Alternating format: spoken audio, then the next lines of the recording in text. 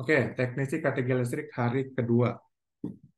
Ya, jadi di sini kita akan membahas lima unit kompetensi, yaitu per, uh, yang pertama bagaimana mengelola resiko dan bahaya listrik, kemudian mengelola penggunaan alat pelindung diri, dan kemudian uh, menerapkan persyaratan K3 ya untuk sistem pembumian, lalu menerapkan persyaratan K3 untuk uh, sistem penyalur petir, dan kemudian menerapkan persyaratan K3 untuk instalasi ruang khusus.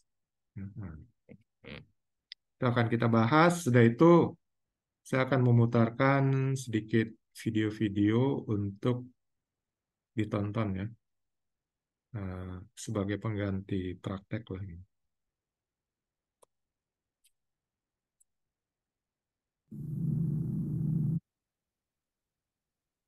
Tadi kita sudah review hari pertama.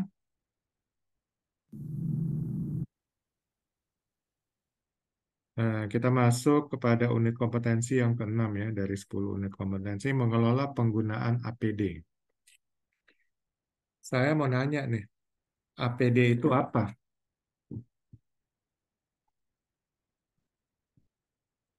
Ada yang bisa jawab?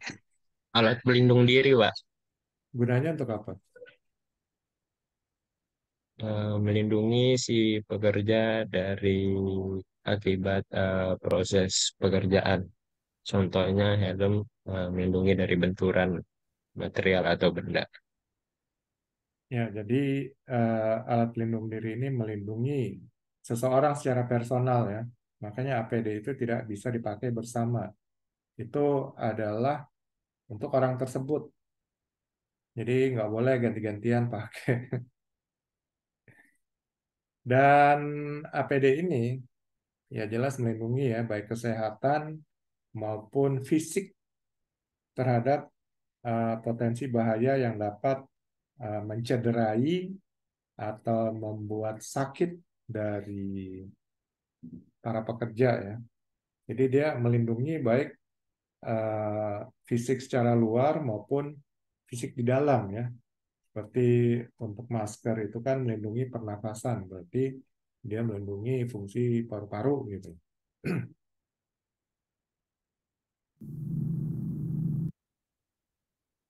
Jadi APD alat pelindung diri, ini alat pelindung yang dipakai uh, personal tidak boleh uh, bersama-sama. Kenapa nggak boleh dipakai bersama? Karena kalau ada mungkin penyakit menular, penyakit kulit, ya, penyakit uh, dalam, lalu uh, contohnya penyakit kulit ya, uh, sepatu atau sarung tangan, lalu dipakai oleh teman kerjanya, maka akan berjangkit. Jadi APD ini personal. Kalau sudah kepada si A, ya si A aja, nggak boleh dipinjam si B. Ya. Dan kemudian APD ini menurut Undang-Undang Nomor 1 Tahun 70 harus diberikan dan disediakan oleh perusahaan tempat pekerja itu bekerja dan nggak boleh dipungut bayar itu harus gratis ya. Karena itu adalah bagian dari fasilitas keselamatan yang diberikan oleh perusahaan kepada para pekerjanya. Jadi kalau umpamanya ada perusahaan yang uh, eh, APD-nya dengan dipotong gaji, ya itu harus dilaporkan kepada Dinas Tenaga Kerja setempat karena ini melanggar aturan dari pemerintah. ya, gratis dan wajib disediakan oleh perusahaan yang mempekerjakan pekerjanya. dan kemudian jenis-jenis APD ya ada untuk uh, melindungi mata ya. Jadi pakai kacamata safety atau Google. Ini untuk melindungi daripada mungkin eh, benda-benda uh, baik benda yang sangat halus maupun benda yang kasar yang masuk ke mata dan dapat merusak mata gitu kan. Kemudian ada lagi untuk kacamata safety yang agak gelap semacam uh, visor yang biasanya juga digunakan oleh banyak jurulas ya untuk melindungi mata dari sinar yang terlalu terang. Terutama kalau mengelas itu akan timbul percikan cahaya yang sangat menyilaukan dan itu bisa merusak mata ya. Karena melebihi nilai ambang batas daripada cahaya. Itu uh, apa, luminasinya itu melebihi dan kemudian dapat merusak kornea mata sehingga dapat uh, membuat orang buta sementara dan buta sementara mungkin bisa menjadi buta permanen gitu ya. Jadi harus ada kacamata gelap. Dan kemudian alat pelindung diri lainnya adalah untuk pelindung telinga. Ya, untuk melindungi telinga itu digunakan mungkin earplug atau earmuff. Kalau earmuff itu mungkin agak mahal dan mungkin agak mengganggu gerakan. Kalau earplug, earplug itu yang paling banyak dipakai, lebih murah dan juga uh, dari soal potensi perlindungannya, earmuff bisa melindungi hingga 30 sampai 50 desibel akustik. Artinya mengurangi kebisingan antara 30 sampai 50 dBA. Tetapi kalau earplug hanya uh, mengurangi kebisingan itu antara 20 sampai 30. Jadi memang lebih bagus pakai earmuff, cuma lebih mahal dan kemudian agak mengganggu gerakan. Tapi kalau hanya untuk fungsi lapangan ya silakan pakai earplug ya. Harganya murah dan mungkin bisa diganti setiap hari dan sebagainya. dan contoh, menurut regulasi pemerintah ya di uh, Permenaker nomor 5 tahun 2018 mengenai K3 lingkungan kerja, itu uh, kebisingan yang bisa ditoleransi adalah sampai dengan 85 desibel akustik.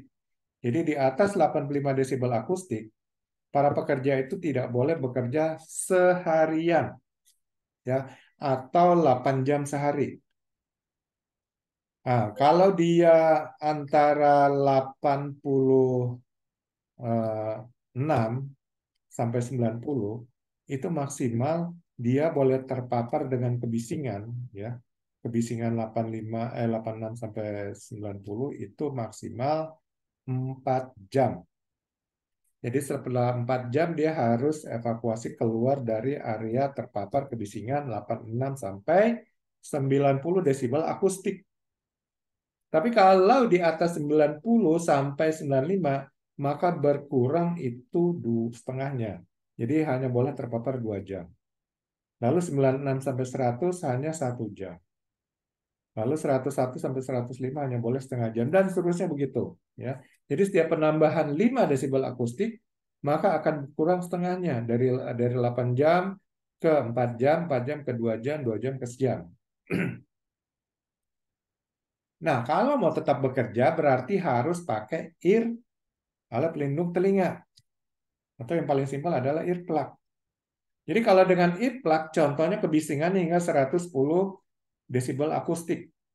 Maka dia kalau pakai earplug itu bisa turun sampai 80 desibel akustik dan itu masih toleransi boleh bekerja seharian 8 jam sehari. Nah, sebagai pengetahuan aja, jalan raya yang padat ya, sibuk, itu kebisingannya antara 80 sampai 85 desibel akustik. Ya. Jadi kalau banyak yang pakai klakson segala macam itu mungkin bisa di atas uh, sampai 90 desibel akustik dan berarti orang harus pakai alat pelindung telinga. kalau musik-musik di diskotik itu antara 110 sampai 120 desibel akustik. Jadi orang yang masuk situ harusnya pakai earplug gitu. Ya. Jadi pakai earplug sambil joget-joget. Soalnya kenapa itu di atas 85 desibel akustik. Tapi kan orang-orang masuk itu nggak mungkin pakai earplug kan. Malah nanti uh, ditahan sama satpam gitu. ya, berarti mereka masuk ke diskotik itu uh, sedang merusak telinga mereka gitu. Ya, jadi mungkin nggak langsung rusak, tapi bertahap ya. Bertahap terjadi degradasi atau pengurangan fungsi dan lama-lama mungkin ya akan tuli permanen gitu loh. Jadi jangan anggap enteng ya. Uh, telinga kita adalah salah satu panca indera yang sangat penting. Dan kalau itu rusak, tentu akan sangat menyukarkan kita, terutama dalam berkomunikasi, ya, dalam bekerja. Nggak ada orang yang mau mempekerjakan mungkin orang yang tuli dan sebagainya apalagi pekerjaan-pekerjaan yang berhubungan dengan banyak komunikasi. Ya. Nah, tapi saya tidak mendiskreditkan orang yang cacat mungkin uh, pendengarannya ya itu uh, mungkin bisa dipekerjakan di satu pekerjaan-pekerjaan tertentu yang tidak uh, terlalu membutuhkan uh, pendengarannya ya. Jadi banyak juga yang bisa di uh, dikreasikan pekerjaan-pekerjaan untuk orang yang tunarungu gitu ya, yang pendengaran mungkin terganggu. Tapi kalau orang yang uh, sehat terus pendengarannya hilang, ya dia akan dievaluasi dalam pekerjaannya apakah masih bisa teruskan bekerja atau enggak gitu. Lalu kemudian alat pelindung lainnya adalah alat pelindung uh, kulit ya, mungkin pakai baju safety, baju yang tertutup semuanya. Lalu uh, pelindung terhadap mungkin kalau sudah di malam hari pakai baju yang pakai reflektor. Kemudian untuk pelindung pernafasan ya, pakai masker. Jadi untuk uh, pekerjaan-pekerjaan menggerinda ya, mengelas itu biasanya diwajibkan pakai masker supaya uh, uap-uap dari pengelasan, gerinda atau partikel-partikel itu bisa uh, terblokir, tidak masuk ke dalam paru-paru dengan adanya memakai masker gitu kan. Lalu uh, kalau memang tempat kerjanya di ruang terbatas itu diharapkan pakai SCBA, Self Content Breathing Apparatus. Itu bukan melindungi pernafasan saja, tapi juga melindungi daripada defisiensi oksigen ya. Sehingga bernafas dengan oksigen yang uh, ada di punggungnya, di dalam tabungnya. Sehingga apa pun potensi uh, gas-gas berbahaya maupun uh, kekurangan oksigen itu tidak bermasalah jika memakai self-contained breathing apparatus atau SCBA. Dan kemudian alat pelindung diri lainnya adalah safety shoes ya. Jadi safety shoes ini untuk melindungi kejatuhan benda-benda ya dari ketinggian mungkin maksimal 2 sampai 3 meter. Kalau untuk melindungi uh, terkena benda-benda yang jatuh dari ketinggian di atas 2 sampai 3 meter itu biasanya kita pakai uh, safety helmet. Dan menurut penelitian bahwa benda-benda yang jatuh dari ketinggian di atas 3 meter itu tidak mungkin ya melukai kaki, tapi melukai kepala. Nah, itu harus pakai safety helmet. Dan safety helmetnya memang harus benar-benar yang bagus, karena biasanya sebuah benda yang jatuh dari ketinggian 20 meter itu akan mengalami percepatan yang luar biasa. Jadi contohnya uh, baut ya, jatuh dari ketinggian 20 meter itu mungkin kalau safety helmetnya uh, bahannya kurang bagus dia bisa tembus. Jadi benar-benar harus bagus. Safety helmet biasanya kebanyakan di proyek konstruksi ya sedang membangun uh, gedung dan sebagainya. Lalu alat pelindung diri lainnya adalah sarung tangan sarung tangan itu juga ada bermacam-macam ya. Ada sarung tangan katun untuk uh, tekan melindungi tangan dari uh, goresan-goresan benda yang mungkin tajam ya, bergerigi dan sebagainya. Lalu untuk melindungi benda yang panas ya mungkin ada sarung tangan yang ada lapisan lapisannya ya, lapisan agak tebal. Uh, itu akan melindungi tangan daripada benda-benda yang sangat panas Lalu untuk listrik juga mungkin ada sarung tangan khusus dan juga untuk eh, bahan-bahan kimia biasanya sarung tangan dari karet ya. Lalu untuk uh, terlindungi dari benda tajam seperti pisau ada lagi sarung tangan yang memakai kawat-kawat ya. Desain khusus sehingga itu akan melindungi tangan. Ya, jadi manusia berpikir sehingga seluruh tubuh ini bisa terproteksi dengan alat pelindung diri karena kita walaupun uh, seberhati-hati sehebat apa pun, tapi kadang-kadang kalau lagi apesnya, ya kita bisa aja terpapar dengan uh, bahaya dan resiko uh, kecederaan, ya, lalu uh, gangguan kesehatan. Nah, makanya dengan alat pelindung diri ini, ini sudah sebagian uh, meminimalisir bahaya dan resiko tersebut ya terhadap tubuh dan kesehatan kita. Kemudian apa saja kira-kira APD untuk pekerjaan listrik? Nah, ini biasanya safety shoes yang memang didesain untuk uh, mencegah sentuhan langsung dan tidak langsung. Jadi dia benar-benar memproteksi uh, pemakainya itu daripada grounding atau bumi. Karena kalau tersentuh aja dengan bumi ya, itu langsung bisa listriknya mengaliri lewat media tubuh orang yang bersangkutan. Tapi dengan set tissues yang memang uh, electrical resistant, itu benar-benar terproteksi terhadap bahaya setrum. Ya. Tapi jangan sengaja megang uh, tegangan tinggi juga gitu kan. Uh, lalu yang lainnya adalah mungkin ya safety helmet ya. Safety helmet juga ada yang electrical resistant yang memang didesain khusus sehingga benar-benar uh, melindungi kalau tiba-tiba ada apa bagian bertegangan tersentuh dengan kepala itu nggak masalah ya karena dia electrical resistant. Dan kemudian juga mungkin ada sarung tangan khusus ya dan baju khusus dan lain sebagainya. Jadi tergantung nanti pekerjaan listriknya seperti apa, maka nanti mungkin akan disebutkan di SOP APD-nya apa yang harus digunakan oleh para pekerja yang bekerja dengan uh, spesifik pekerjaan yang uh, mengandung bahaya listrik. Ya, itu kira-kira alat pelindung diri dan sudah umum kita ya sudah mengenal. Yang paling umum adalah alat pelindung diri itu safety shoes, safety helmet ya, kemudian kacamata safety atau Google atau kemudian sarung tangan, nah, masker itu paling umum yang banyak digunakan hari-hari dan mungkin terutama masker ya itu mungkin tiap hari harus diganti. Kemudian ini SKKNI-nya atau unit kompetensinya ya, standar dari BNSP. Dia ada tiga elemen kompetensi. Di sini elemen kompetensi pertama mempersiapkan alat pelindung diri untuk pekerjaan instalasi ketenaga listrikan. Kriterianya adalah APD diinventarisir sesuai dengan potensi bahaya Nah, makanya diidentifikasi nih bahayanya apa aja, lalu memakai APD yang sesuai ya untuk memproteksi terhadap bahaya tersebut. Kemudian alat pelindung diri dipilih sesuai dengan potensi bahaya, spesifikasi alat, dan ukuran tubuh. Jadi nanti ada alat pelindung diri seperti sepatu ya, safety shoes.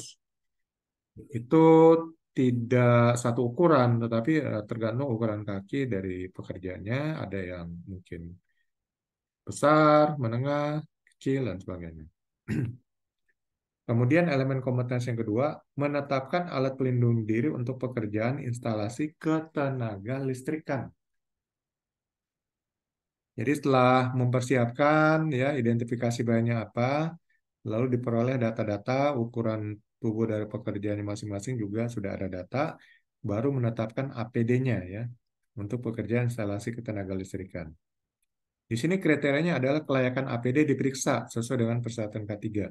Jadi dicek ya, kalau uh, safety helmet mungkin dicek apakah ini dalam kondisi utuh atau ada retak-retak ya, dan kemudian uh, sudah lama terpapar panas sehingga kekuatan proteksinya juga berkurang ya.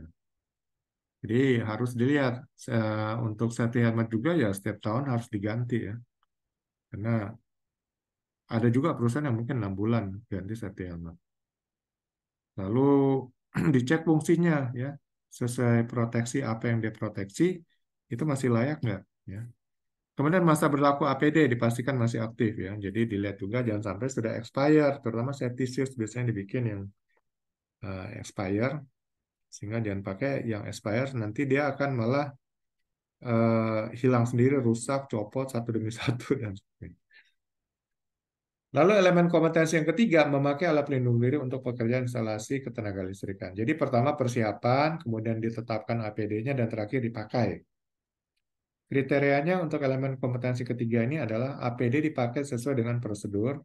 Jadi nanti perusahaan juga menyediakan ya pemakaian prosedur masing-masing APD nanti siapkan sehingga setiap pekerja yang baru mungkin yang baru masuk tahu ya dengan adanya uh, eh, SOP-nya sehingga dia memakai APD, memelihara APD sesuai dengan prosedur yang ada di perusahaan tersebut. Kemudian APD yang dipakai dipastikan terpasang sesuai dengan ketentuan. Jadi jangan pakai seperti sering kita lihat ya. uh, kalau di jalan raya pengendara motor helmetnya ditaruh ke atas kepala itu udah nggak ada fungsi proteksinya ya. Atau uh, helmetnya dipegang, digantung di motor ya dia sendiri tanpa helmet gitu kan lucu kan. Jadi dia melindungi helmetnya bukan helmetnya melindungi kepala dia gitu. Terbalik, terbalik. Kemudian, oh ini ada lima ya, lima elemen kompetensi. Elemen kompetensi keempat adalah memelihara APD untuk pekerjaan instalasi ketenaga listrikan. Jadi APD itu harus di-maintain juga ya supaya awet. Jangan baru dipakai sehari udah rusak, bisa dimarahin ya nanti sama supervisor. Di sini kriterianya adalah APD dibersihkan setelah dipakai, APD yang rusak diganti yang baru, kemudian APD disimpan di tempat yang memenuhi syarat ya jangan di tempat yang mungkin lembab dan sebagainya sehingga itu akan cepat merusak ya karena ada uap-uap air eh, bereaksi dengan bahan-bahan dari APD itu sehingga membuat umurnya tidak tahan lama. Kemudian elemen kompetensi yang kelima membuat laporan hasil penggunaan APD. Jadi nanti safety officer atau pengawas mungkin yang akan buat laporan hasil penggunaan APD yang sudah dibagikan dan sebagainya. Di sini kriterianya adalah penggunaan APD dievaluasi sesuai dengan ketentuan K3, lalu laporan penggunaan APD disusun sesuai dengan hasil evaluasi, lalu hasil penggunaan APD dilaporkan pada pihak-pihak terkait. Kemudian laporan hasil evaluasi didokumentasikan sesuai dengan prosedur. Jadi nanti ada prosedur juga untuk membuat laporan, apa-apa yang dilaporan terkait penggunaan APD. Ya, inilah unit kompetensi yang keenam mengelola alat pelindung diri.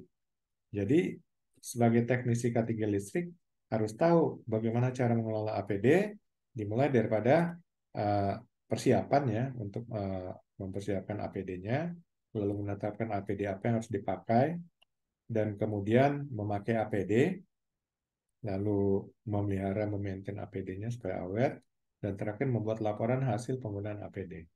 Nah, mungkin apa supervisornya akan minta laporan dari masing-masing pekerja lalu nanti dirangkum oleh supervisor gitu ya. Oke, untuk KPD ini ada yang ingin tanyakan?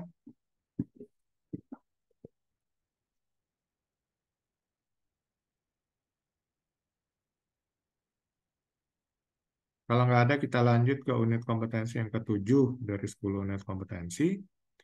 Mengelola resiko bahaya listrik.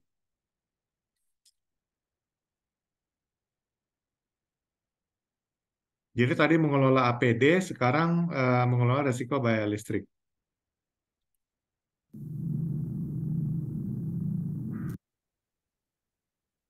Nah, mungkin saya pengen tahu dulu ke Pak Syahrul, apa itu bahaya uh, bahaya itu adalah uh, sumber segala sesuatu yang bisa mengakibatkan uh, kerugian Pak, baik material, barang, peralatan, lingkungan maupun manusianya. Kalau resiko? Resiko itu ukuran kemungkinan terjadinya bahaya Pak atau kecelakaan. Coba kasih contoh bahaya dan risiko. Bahaya contohnya eh, jalan berlubang. Risikonya akibat dari jalan berlubang tersebut bisa mengakibatkan kecelakaan eh, mungkin tertabrak, menabrak, terbalik. Seperti Kalau nyebrang jalan, di mana bahaya, di mana resikonya? Nyebrang jalan.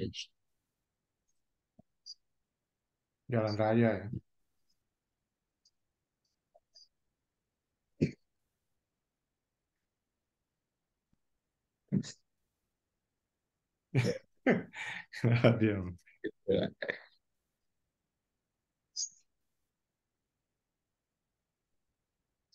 Jadi nyebrang jalan itu, nyebrang jalan itu sendirilah bahayanya ya.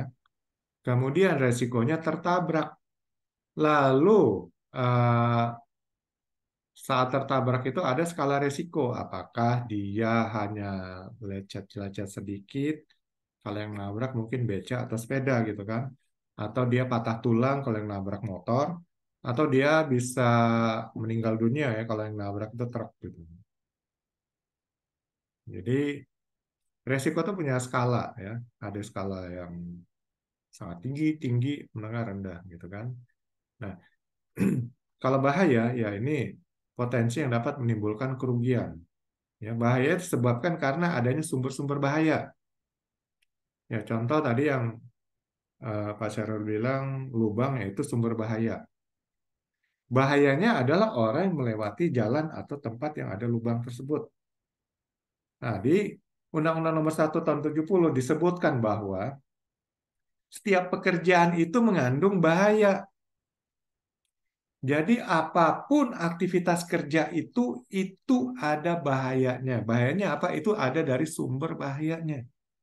So, kita bisa katakan juga semua aktivitas kerja itu adalah bahaya. Ya. Yang membedakannya adalah sumber-sumber bahayanya berbeda mungkin ya. Apakah sumber bahayanya listrik, ya sumber bahayanya alat berat, ya sumber bahaya mungkin air dan seterusnya. Jadi semua aktivitas kerja itu adalah bahaya. Lalu yang membedakannya sumber bahaya dan juga resikonya mungkin berbeda-beda. Ya. Jadi resiko adalah dampak dari adanya bahaya.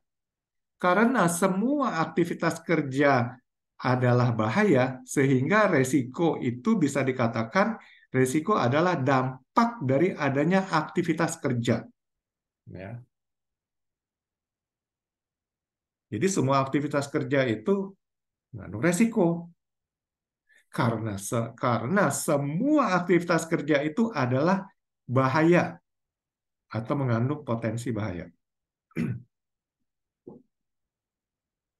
Lalu apa saja resiko dan bahaya listrik?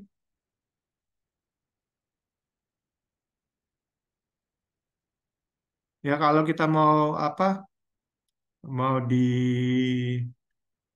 bicarakan secara singkat, bahaya listrik adalah sentuhan langsung, sentuhan tidak langsung, dan kebakaran. Kalau sentuhan langsung yang kemarin saya sudah paparkan bahwa itu kita menyentuh langsung bagian bertegangan.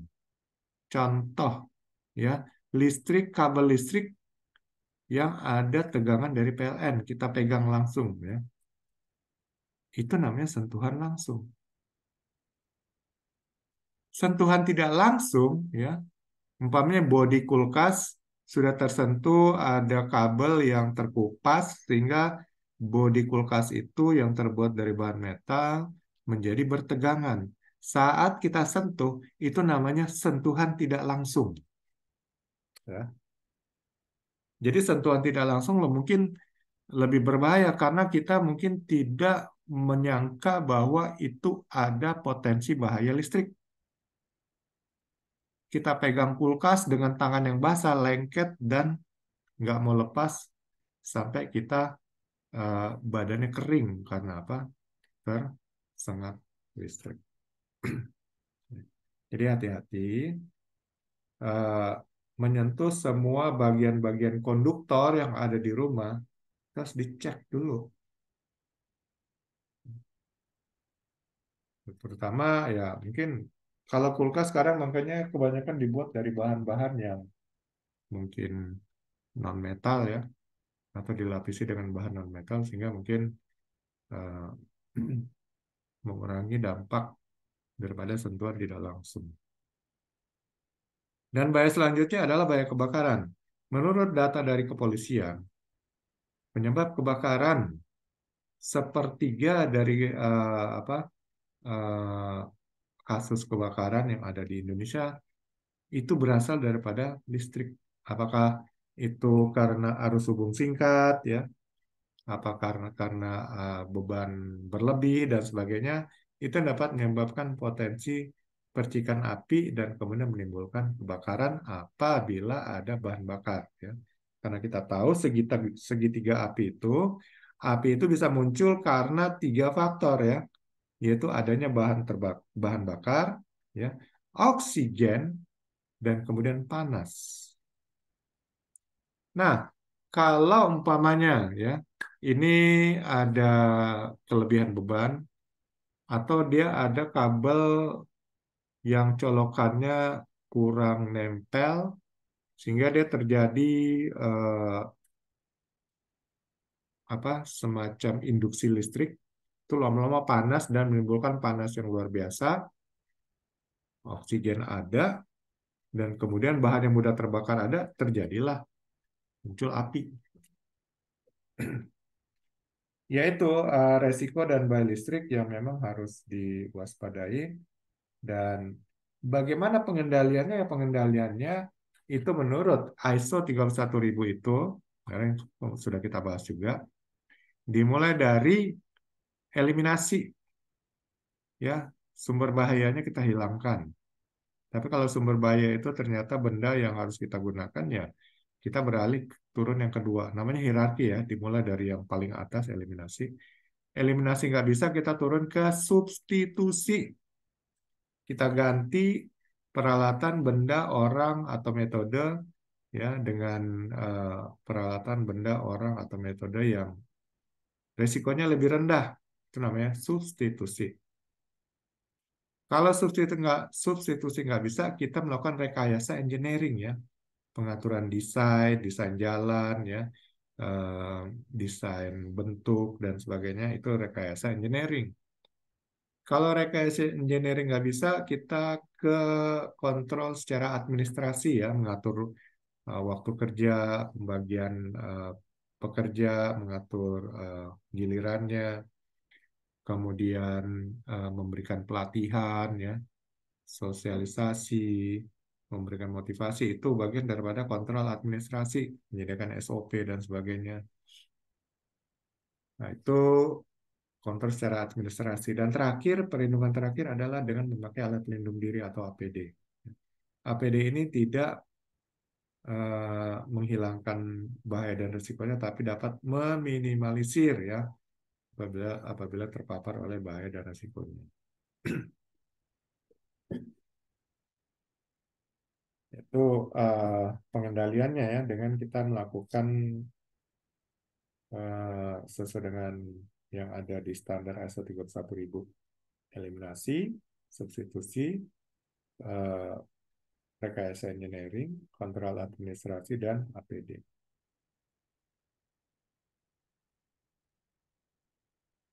Kemudian ini SKKNI-nya.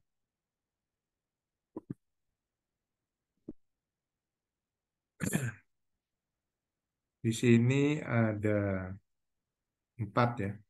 Ada empat elemen kompetensi. Yang pertama mengidentifikasi potensi bahaya listrik. Yang kedua menilai resiko bahaya listrik. Yang ketiga mengendalikan resiko bahaya listrik. Yang keempat mengevaluasi pengelolaan resiko bahaya listrik. Ya, identifikasi dulu ya. Identifikasi bahaya. Makanya HIRA itu Hazard Identification Risk Assessment. Artinya uh, identifikasi bahaya, lalu kemudian menilai dan mengendalikan resikonya. Kenapa tidak diidentifikasi resikonya? Ya, tentu bahaya dulu yang harus kita identifikasi ya. Aktivitas kerjanya apa gitu. Ya, kalau kita sudah tahu aktivitas kerjanya, maka kita bisa asesmen resikonya ya, atau melakukan penilaian resikonya. Setelah kita bisa menilai resikonya, kita bisa mengendalikan resikonya. Nah, di sini mengidentifikasi potensi bahaya listrik ya. Kriterianya adalah formulir identifikasi bahaya disiapkan untuk menginventarisir potensi bahaya. Jadi di, di lah ya, di list potensi bahayanya apa aja. Ya selama terkait bahaya listrik tentunya. Kemudian formulir diisi sesuai potensi bahaya. Nah, diceklah Kalau memang brainstorming sama satu tim ya itu mungkin lebih cepat akan uh, teridentifikasi semua bahaya potensi potensi bahaya listrik.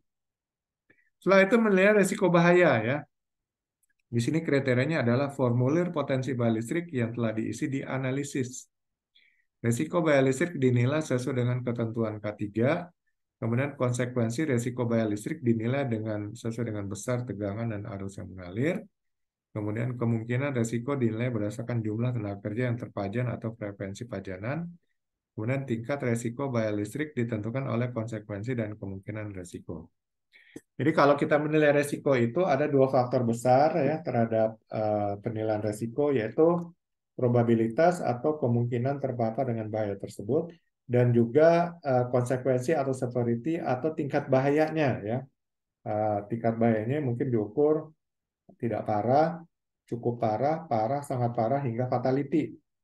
Kemudian untuk uh, probabilitasnya atau frekuensi kemungkinannya terjadi itu mungkin bisa kita klasifikasikan menjadi sangat jarang ya jarang cukup sering sering sangat sering. Nah, jadi nanti kita buat dalam tabel ya sehingga pertemuan antara yang sangat sering dengan fatality itu berarti benar-benar uh, tingkat resikonya sangat tinggi atau ekstrim ya dan kemudian kita mulai menilai lagi menggabungkan pertemuan antara probabilitas dan konsekuensinya sehingga akan muncullah data mengenai matriks resikonya yaitu mulai daripada sangat tinggi, tinggi, menengah, rendah, sangat rendah. Nah, setelah kita tahu skala resikonya, maka kita berusaha mengendalikan dulu resiko yang bahayanya sangat tinggi. Ya, Mengendalikannya adalah berusaha menghilangkan resiko tersebut atau minimal menurunkan tingkat uh, skalanya ya. Jadi dari sangat tinggi kalau bisa diturunkan menjadi rendah atau sangat rendah. Tinggi menjadi sangat rendah ya. Menengah menjadi sangat rendah atau hilang dan seterusnya. Ya, semua yang berhubungan dengan bahaya listrik tentu. Setelah kita mendapatkan data-data mengenai skala resikonya, ya, setelah kita melakukan assessment, menilai resikonya, kita bisa menentukan skala resikonya dengan membuat mengacu kepada matriks resiko yang sudah kita buat, maka kita kendalikan resiko bahaya listrik. Kriterianya adalah pengendalian risiko balistik dilakukan berdasarkan tingkat resiko. Jadi resiko yang sangat tinggi dulu yang duluan ya. Karena apa? Itu yang mungkin ter, uh, dalam waktu singkat akan langsung bisa terjadi kecelakaan kerja. Jangan kita fokus kepada resiko yang sangat rendah, mengendalikan dulu resiko yang sangat rendah, baru naik ke menengah, baru naik yang sangat tinggi keburu kita langsung dapat data eh, korban-korban kecelakaan kerja. Kemudian pengendalian tingkat resiko dilakukan sesuai dengan hierarki pengendalian ya atau uh, hierarki yang saya sebutkan tadi yang dibuat standar oleh ISO 31000 ya eliminasi substitusi uh, rekayasa engineering, kontrol administrasi dan terakhir dengan memakai alat pelindung diri. Setelah itu kita evaluasi pengelolaan resiko bahaya listrik ya Kriterianya adalah hasil pengelolaan risiko balistik diverifikasi sesuai persyaratan K3. Jadi lihat persyaratan K3 apa yang berhubungan dengan pekerjaan listriknya ya. Apakah di pembangkit, di jaringan transmisi, di distribusi, di instalasi pemanfaatan tenaga listrik, sistem pembumian, eh, eh, sistem penyalur eh, petir, dan ruang khusus. Nah, itu mungkin persyaratan K3-nya beda-beda. Nanti di evaluasi ya pengelolaan risiko basic berdasarkan verifikasi dari persyaratan K3-nya ya dibandingkan dengan persyaratan K3-nya. Kemudian hasil pengelolaan risiko bayar listrik yang telah diverifikasi disusun sesuai dengan format yang berlaku. Lalu hasil pengelolaan risiko bayar listrik dilaporkan kepada atasan untuk memperoleh pengesahan. Dan kemudian laporan hasil pengelolaan risiko bayar listrik didokumentasikan sesuai dengan prosedur ya Ya, jadi mungkin apakah perlu dibuat hard copy atau cukup soft copy untuk laporannya. Nah, nanti mungkin ada hard copy atau soft copy disimpan ya untuk mungkin pertanggungjawabkan next bila ada permintaan dan seterusnya. Inilah mengelola resiko bahaya listrik. Dan ini harus bisa dilakukan oleh seorang teknisi K3 listrik. Oke, sampai sini ada yang ingin tanyakan atau didiskusikan?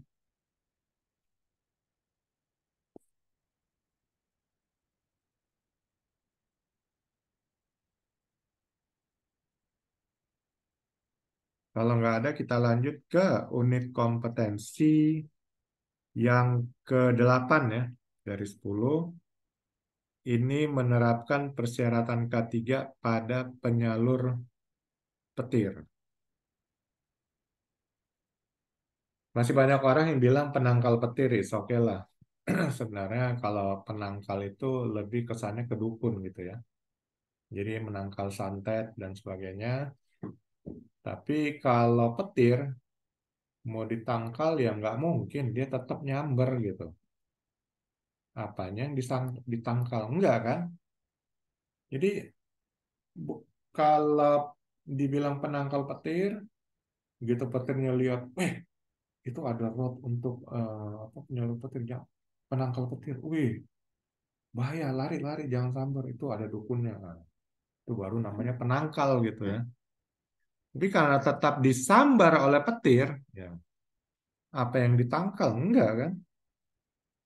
Mungkin maksudnya penangkal bahayanya, ya oke lah ya. Jadi bahaya dan dampak dari petir itu ditangkal. Oke. Jadi petirnya disalurkan sehingga tidak menimbulkan dampak yang signifikan. Nah, oke, bisa lah kita pakai kata penangkal. Karena nanti di video yang yang saya akan siarkan masih judulnya penangkal. Habis nyari-nyari yang penyalur petir belum ada gitu.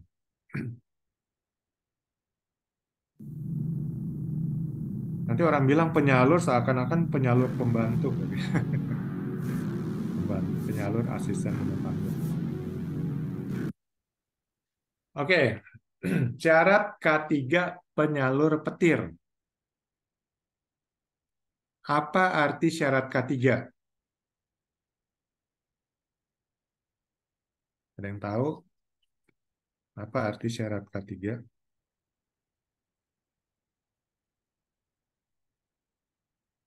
Syarat itu artinya sesuatu yang sudah ditentukan ya untuk diikuti dan dipatuhi.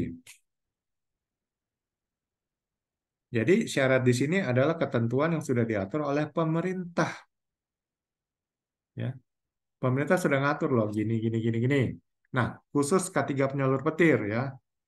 Pemerintah sudah atur bahwa eh, model penyalur petir yang diakui adalah model eh, Franklin. Nah, contoh itu syarat.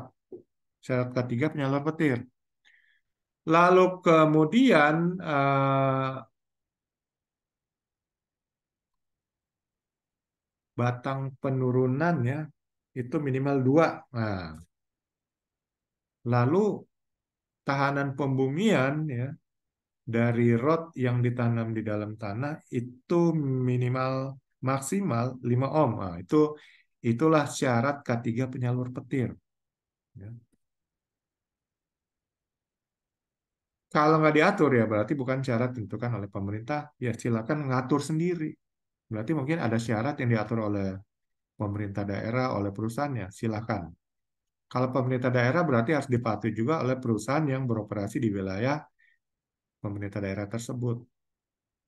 Kemudian kalau ada syarat K3 penyalur petir yang diatur sendiri oleh perusahaan, berarti hanya berlaku untuk perusahaan itu sendiri, tidak berlaku untuk perusahaan lainnya. Nah, gitu ya.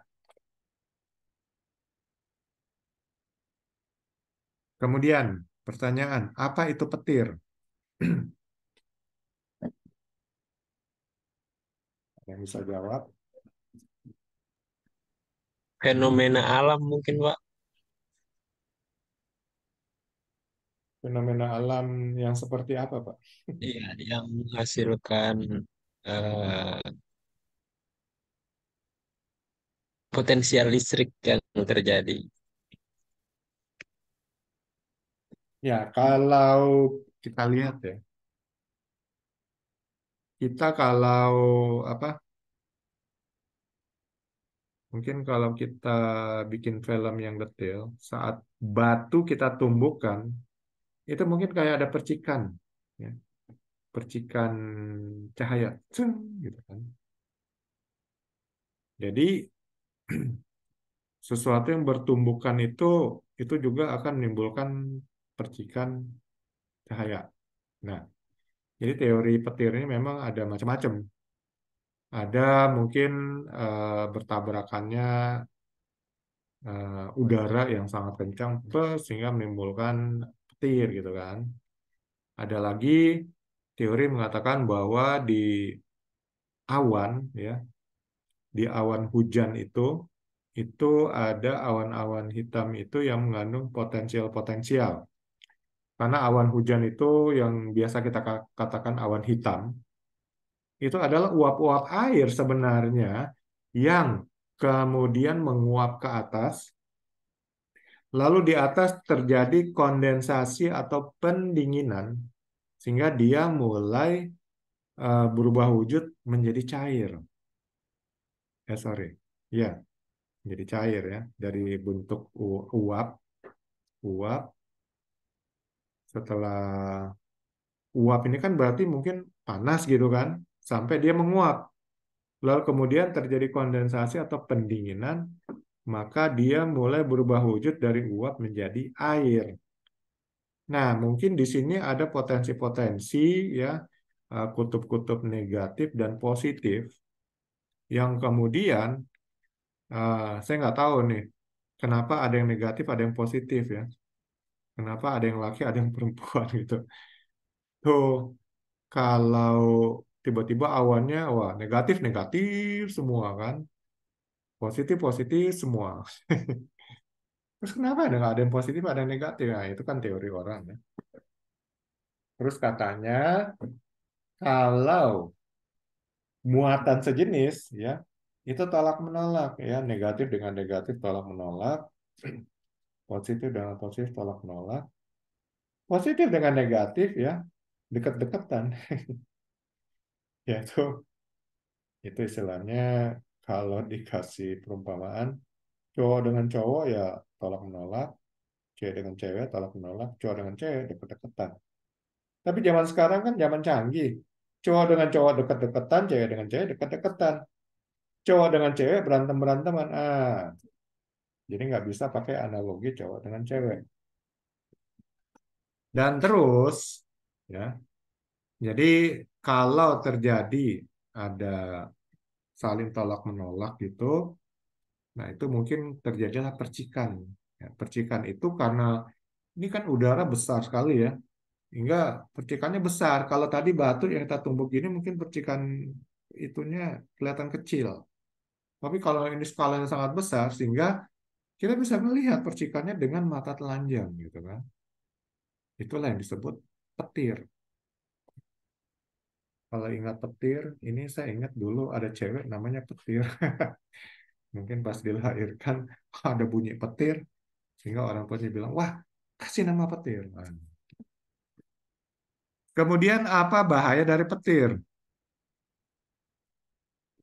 Bahaya dari petir adalah tentu menimbulkan dampak destruktif atau kerusakan ya. Mungkin bisa langsung merusak seperti karena petir ini kan mengandung tegangan yang sangat tinggi dan kemudian mengandung panas, dia mungkin bisa membakar ya, bisa merusak suatu benda dan frekuensinya juga ya itu dapat merusak Eh, peralatan-peralatan elektronik dan juga peralatan-peralatan telekomunikasi.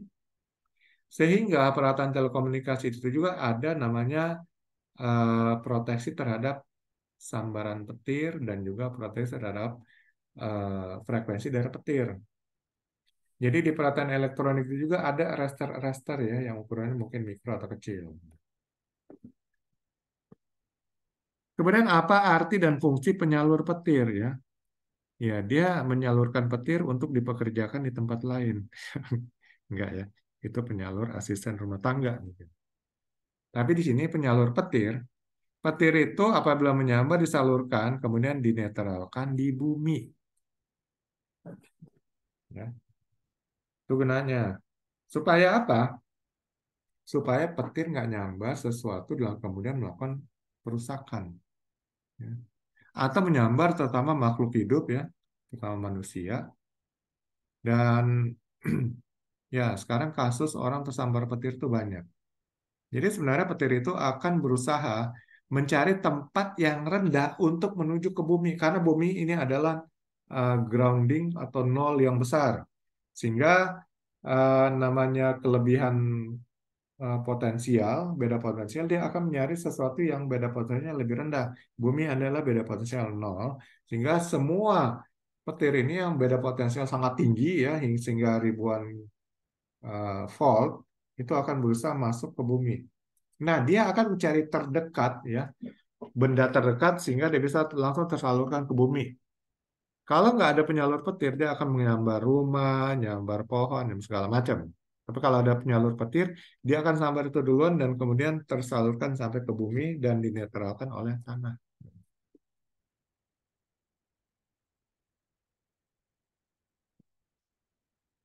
Yaitu fungsi arti dan fungsi penyalur petir.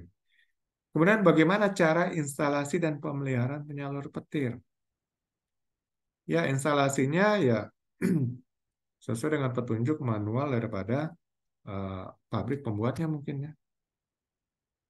Tapi di sini biasanya tinggal dipasang uh,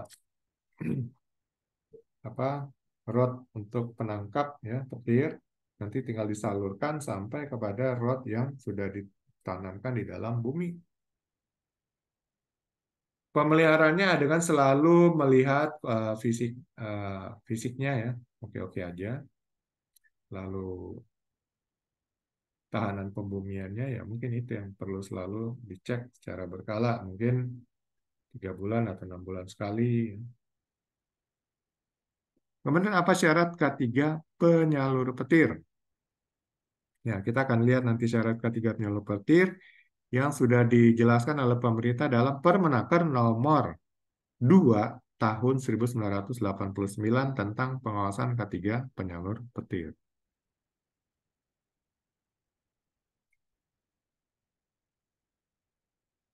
Mungkin Bapak-Bapak sudah baca. Perlindungan sambaran langsung ya. Ada tiga jenis untuk uh, perlindungan terhadap proteksi bahaya petir, yaitu instalasi sistem Franklin, sangkar Faraday, dan elektrostatik. Nah, di Permenaker 289 disebut kita mengacunya ke ini, sistem Franklin. Kalau Franklin ini diciptakan oleh Benjamin Franklin, ya, Presiden Amerika yang kedua. Presiden Amerika yang kedua termasuk ilmuwan ya. Jadi pada waktu Amerika berdiri tahun 1776, itu George Washington yang menjadi presiden pertama ini juga Benjamin Franklin yang uh, mengusulkannya. Setelah uh, George Washington lengser, maka DPR Amerika mengangkat Benjamin Franklin menjadi presiden yang kedua. Dan dia termasuk presiden yang cukup terkenal ya, karena ada mukanya atau gambarnya itu yang di dolar gitu.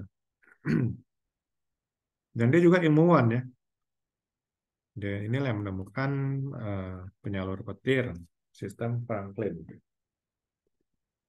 Kemudian perlindungan sambaran tidak langsung. Ini sambaran langsung ya. Untuk perlindungan sambaran tidak langsung biasanya peralatan-peralatan di diinstal penyama tegangan ya yang disebut namanya arrestor.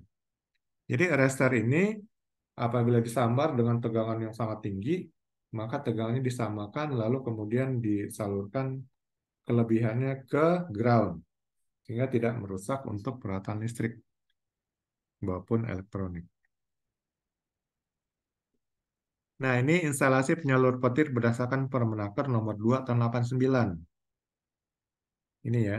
Jadi ini namanya air terminal atau terminal untuk penangkap petirnya Kemudian ada hantaran penurunan atau down conductor. Lalu sini hantaran pembumian atau groundingnya ya yang ditanam di tanah minimal uh, pada kedalaman sampai kedalaman 50 cm. Lalu persyaratannya apa aja?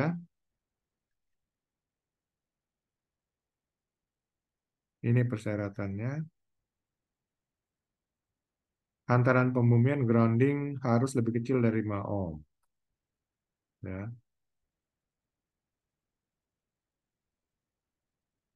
Nah, ini. Elektroda penerima harus dibuat runcing dengan ketinggian dan jarak tertentu sehingga masing-masing elektroda penerima melindungi bangunan dengan sudut pelindungan 122 derajat. Ini ini harus dibuat runcing ya.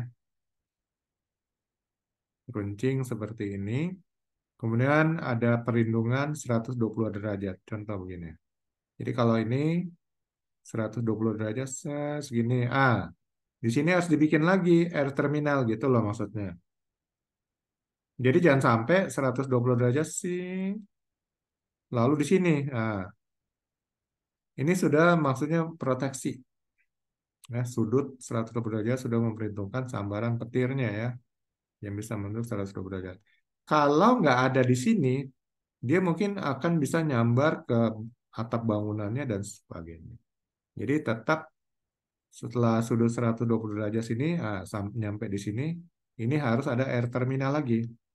Lalu di sini juga set 120 derajat ada air terminal. Gitu.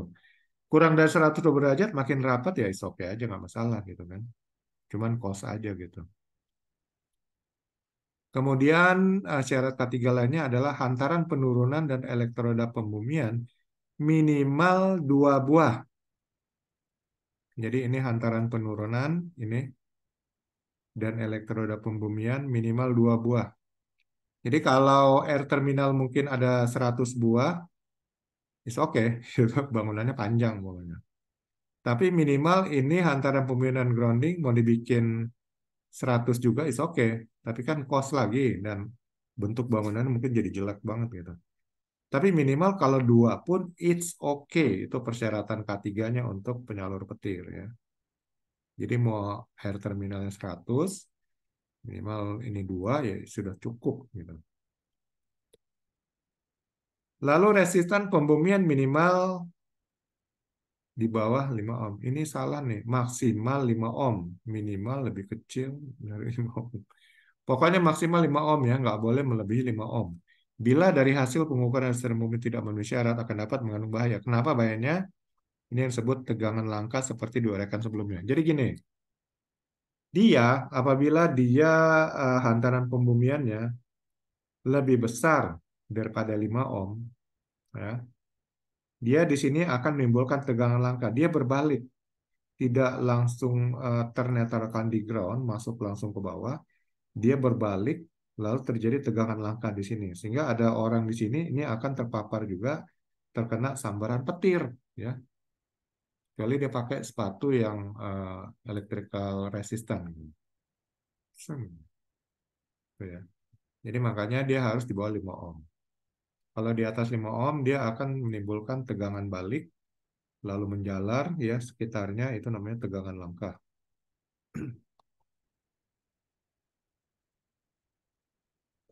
Oke, sekarang SKKNI-nya atau unit kompetensinya.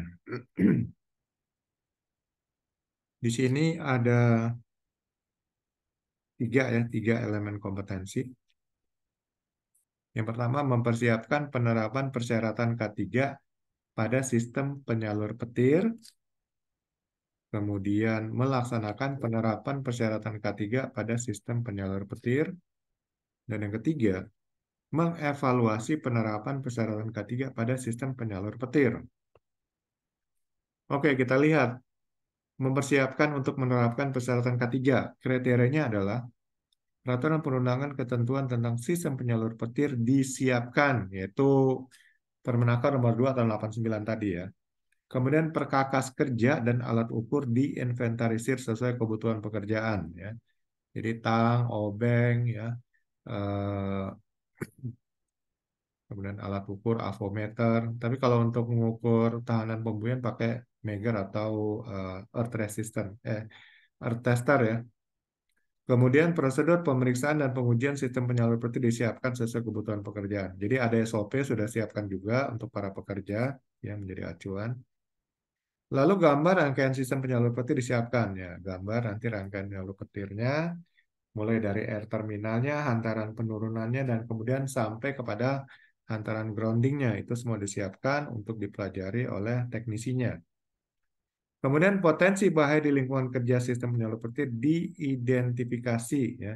Jadi bahaya sekitar ya, apakah ada banyak orang atau uh, ada bahaya-bahaya lainnya dan sebagainya itu diidentifikasi.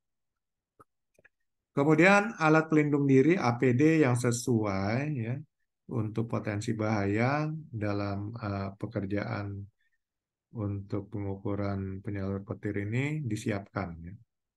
Diidentifikasi dan disiapkan. Lalu loto disedia, disediakan sesuai ketentuan ya. Apakah perlu lock out take out ya. Kalau perlu ya dipasang loto ya. Dikunci panel uh, sumber listriknya dan kemudian dikasih tanda atau tag. Lalu kriteria selanjutnya checklist pemeriksaan dan pengujian dibuat berdasarkan SBS drawing atau gambar terlaksana. Jadi nanti buat daftar apa-apa aja yang akan diperiksa ya untuk pemeriksaan sistem penyalur petir ini. Setelah itu eh, elemen kompetensi kedua melaksanakan penerapan persyaratan eh, K3 pada sistem penyalur petir. Ini APD dipakai, rambu-rambu K3 dan loto dipasang ya. Gambar rangkaian sistem penyalur petir digunakan, perkakas kerja dan alat ukur digunakan, checklist diisi berdasarkan hasil penerapan. Nah, jadi ini uh, untuk menerapkan sistem penyalur petir ya, membangun apa air terminal, antaran penurunan sama groundingnya ini semua uh, mungkin perlu alat-alat bo, uh, mesin bor sebagainya itu uh, semua hal-hal yang berhubungan mungkin dengan listrik yang akan dipakai diproteksi ya dengan loto supaya tidak ada gangguan dari luar. Atau mungkin ada instalasi yang akan dipadamkan dulu itu nanti uh, panelnya di lock dan kemudian diberikan tag. Lalu mungkin perlu ada gambar rambu-rambu ya Tergantung ya, tergantung kebutuhan aja. Lalu gambar rangkaian sistem penyalur petir ini digunakan pada saat penerapannya. Kemudian checklist diisi ya, yang sudah ditanda beri tanda, yang belum segera dikerjakan untuk diterapkan.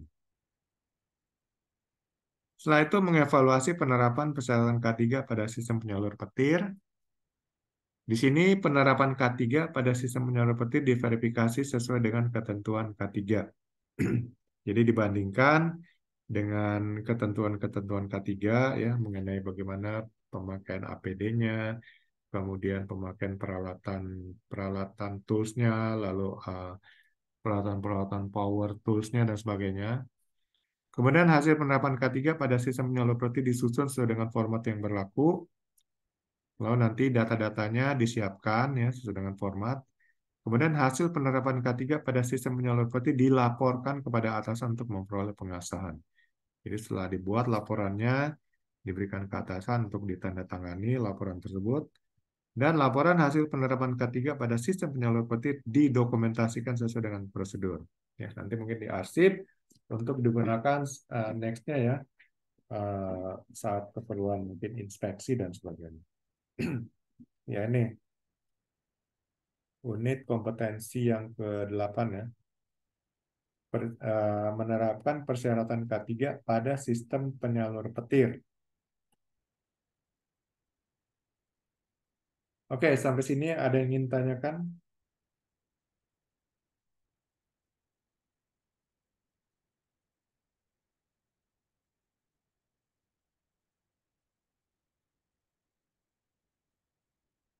Kalau nggak ada, kita lanjut ke unit kompetensi yang ke-9 menerapkan persyaratan K3 pada sistem pembumian. Bumi ini adalah netral yang besar ya, jadi uh, atau potensial nol. Hingga kalau ada potensial yang lebih dari 0, 1 hingga uh, puluhan ribu volt atau ratus ribu volt, semuanya pasti menuju bumi. Sama seperti air, air itu akan mencari tempat yang lebih rendah. Sehingga kalau ada sesuatu yang uh, menurun, dia tentu akan turun mengikuti penurunan itu sampai kepada tempat yang lebih rendah, tidak ada yang lebih rendah lagi, dan dia akan berdiam di situ. Sama juga ya. uh, beda potensial atau tegangan yang tinggi, itu akan mencari penyalurannya menuju kepada tempat atau rangkaian yang beda potensialnya lebih rendah. Makanya dalam rangkaian tertutup itu, itu adalah kalau untuk DC, itu dari positif ke negatif ya. Dia akan dari uh, beda potensial yang lebih tinggi ke yang lebih rendah.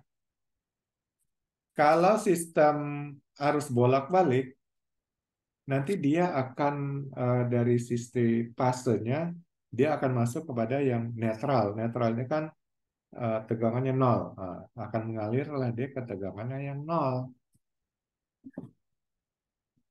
Jadi ya konsepnya seperti itu sehingga terjadilah tempat yang dilewati itu terjadi namanya arus atau ada pergerakan arus gitu ya. Dan di sini eh, pergerakan arus itu tentu akan menimbulkan bahaya listrik tadi. Bahaya listrik itu adalah sentuhan langsung, sentuhan tidak langsung. Dan kemudian tentu itu akan berbahaya kepada orang yang terkena sentuhan langsung dan sentuhan tidak langsung. Nah, dengan sistem pembumian, ini sebagian uh, energi listrik itu akan dinetralkan oleh bumi. Jadi saat kita tersetrum, sebagian langsung masuk ke deteksi ada apa jalur ya jalur lebih singkat ya, lebih singkat menuju bumi, nah, dia akan menuju kepada grounding. Di kita juga dia akan melewati tubuh kita sebagai media untuk menuju ke bumi juga sama. Tapi mungkin dia akan lebih cepat ke uh, tidak melewati tubuh kita langsung ke grounding yang sudah terinstall di situ. Sehingga yang melewati tubuh kita ini akan lebih sedikit dan itu artinya potensi bahayanya kita akan lebih sedikit. Makanya semua peralatan instalasi listrik yang di ground itu akan lebih aman.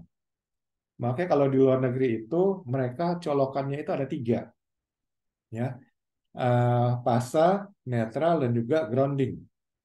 Ya, tiga gitu kan. Kalau di Indonesia dibikin lebih simpel jadi dua aja. Tapi sebenarnya mungkin sudah ada yang di grounding juga. Nah, tapi sebenarnya tiga itu lebih aman. Itu sudah standar kuil di Indonesia cukup dua, ya, pasa dan netral. Kalau negeri mungkin ada yang ketiga lagi untuk uh, apa colokan untuk groundnya, sehingga ada tiga kaki dia.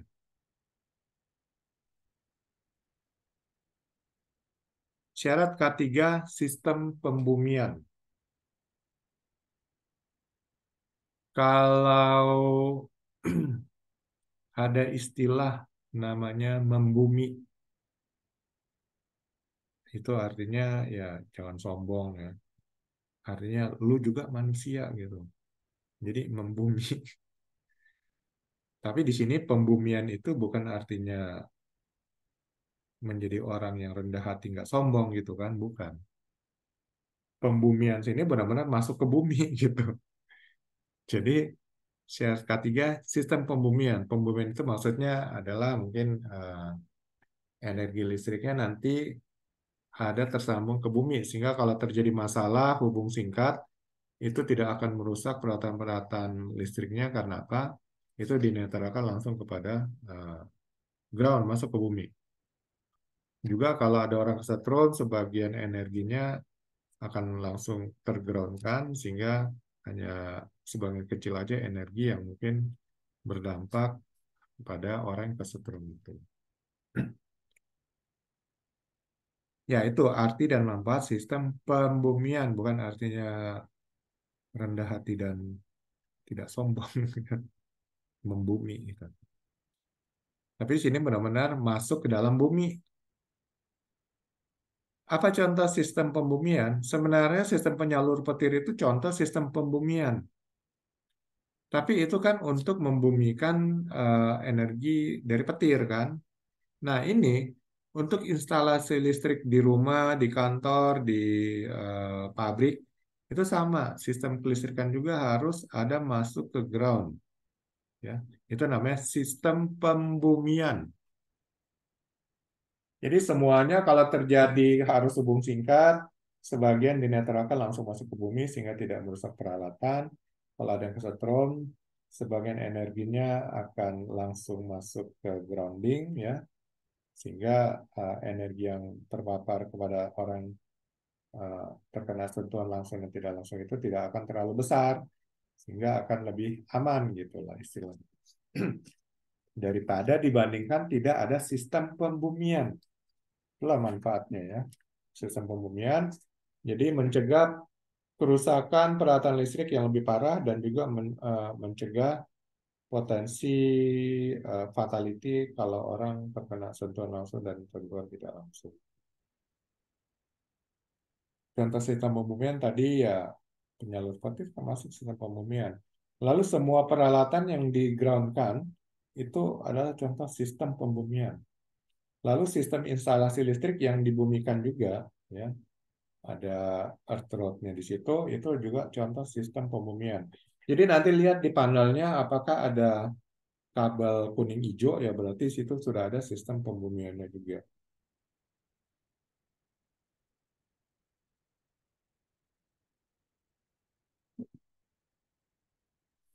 Ah, mungkin ada pertanyaan. Apakah uh, sistem pembumian untuk instalasi listrik dan peralatan listrik bisa disatukan dengan sistem pembumian pada sistem penyalur petir. Bagaimana menurut Bapak-Bapak?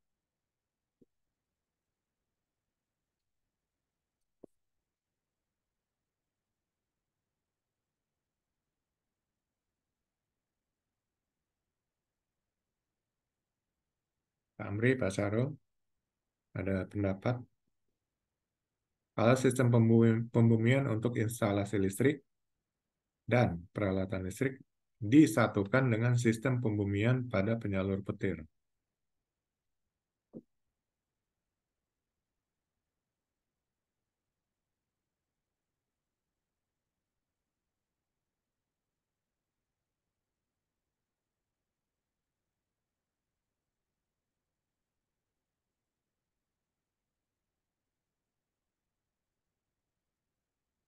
Nggak ada ide?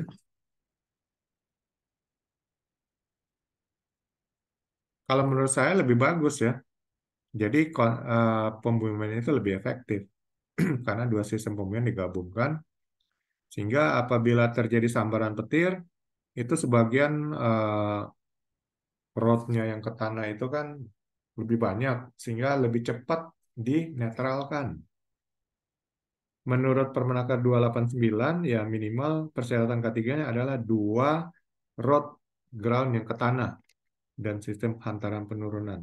Kalau ground yang ke tanah itu disambung dengan uh, sistem pembumian dari instalasi listrik, ya itu akan lebih banyak, lebih cepat ya ter, tersalurkan ke groundnya, nah, sehingga lebih aman, lebih bagus.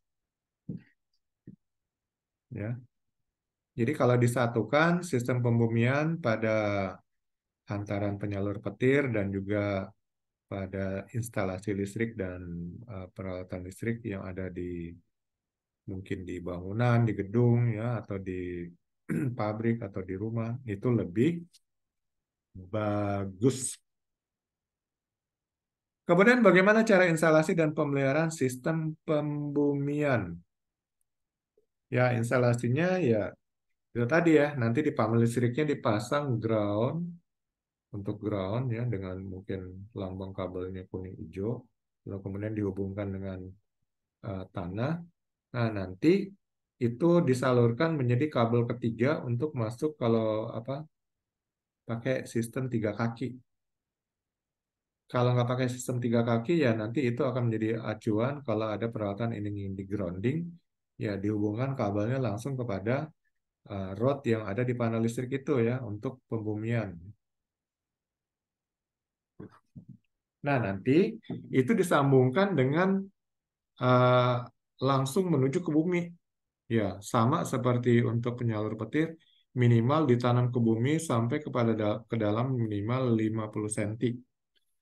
Karena kalau sudah rodnya masuk ke dalam kedalaman 50 cm dan lebih besar, itu sudah uh, apa? Dia menetralkannya sudah lebih efektif ya Kalau belum sampai 50 cm, mungkin dia akan menimbulkan tegangan balik apabila terjadi arus lebih atau arus korslet ya. Dia akan uh, muncul lagi ke atas, kemudian ya sama seperti petir akan terjadi tegangan langkah. Dia akan menyebar ke permukaan tanah.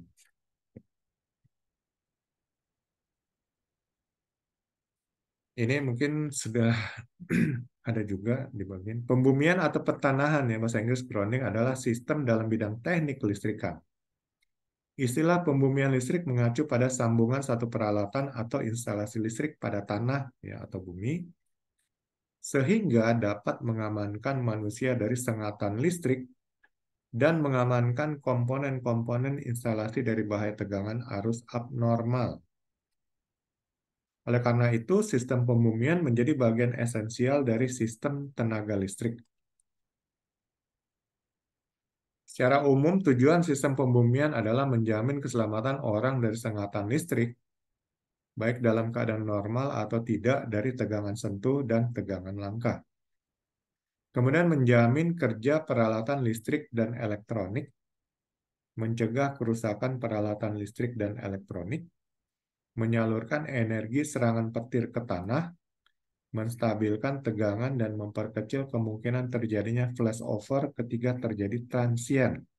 Ya, kalau terjadi mungkin uh, panas berlebih atau arus hubung singkat ya. Mengalihkan energi eh, RF liar ya dari peralatan-peralatan seperti audio, video, kontrol dan komputer.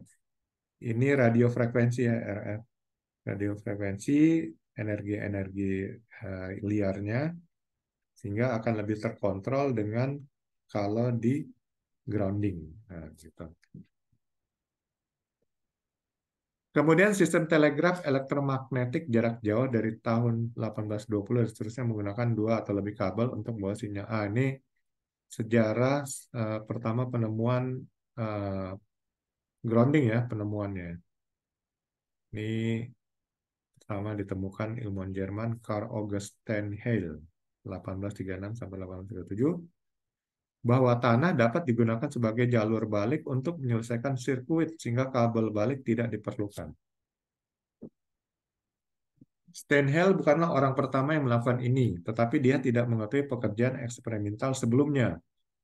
Dan dia adalah orang pertama yang melakukannya pada telegraf dalam layanan, sehingga prinsip ini diketahui oleh para insinyur telegraf secara umum. Namun, ada masalah dengan sistem ini, dicontohkan oleh jalur telegraf lintas benua yang dibangun pada tahun 1861 oleh perusahaan Western Union antara Saint Joseph, Missouri, dan Sacramento, California. Selama cuaca kering, sambungan tanah sering kali mengalami hambatan yang tinggi sehingga air harus dituangkan ke batang tanah agar telegraf dapat bekerja atau telepon berdering.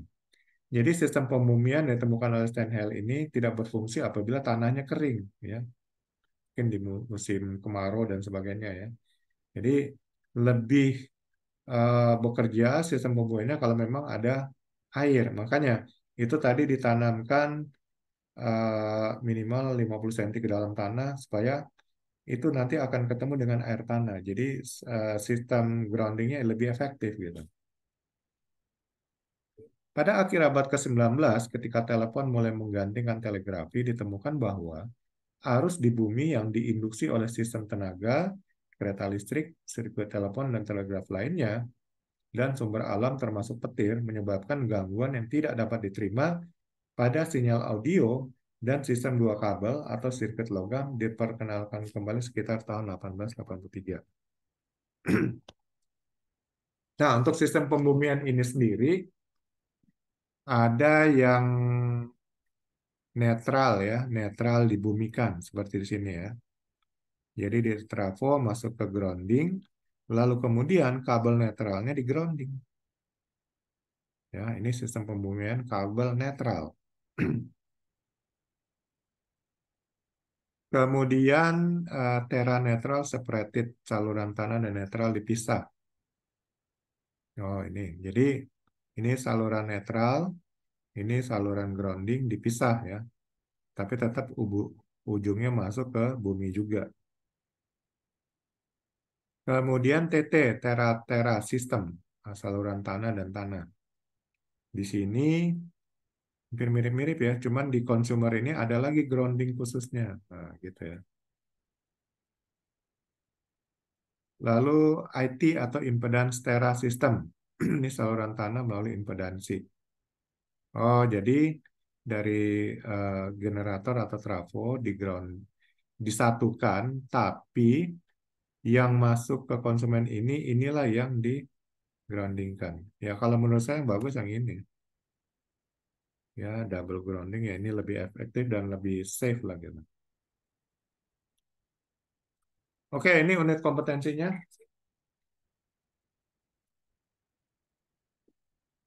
Ini persyaratan untuk uh, yang sudah diatur oleh BNSP ya untuk teknisi K3 listrik.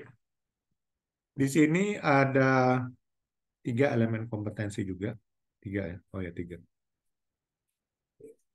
Yang pertama, mempersiapkan penerapan persyaratan K3 pada sistem pembumian. Yang kedua, melaksanakan penerapan K3 pada sistem pembumian. Yang ketiga, mengevaluasi. Sama semuanya ya. Semuanya dimulai dari persiapan, pelaksanaan penerapan, dan terakhir evaluasi. Di sini untuk persiapan penerapan persyaratan K3 pada sistem pembumian, kriterianya adalah sama regulasi peraturan perundangan diidentifikasi ya.